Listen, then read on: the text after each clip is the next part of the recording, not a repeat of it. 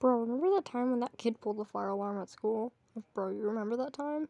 Wasn't that funny? Like just running out of the classroom like, bruh. Secondary, I actually thought there was an actual fire. Curious, this is kind of what it looked like a little.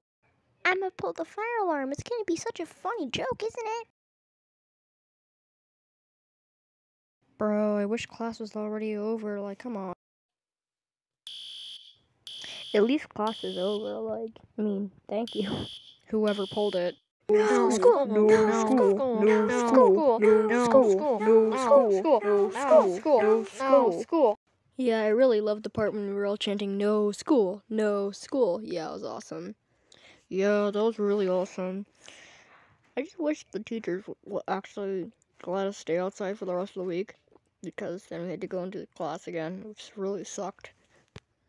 Please like and subscribe, and goodbye.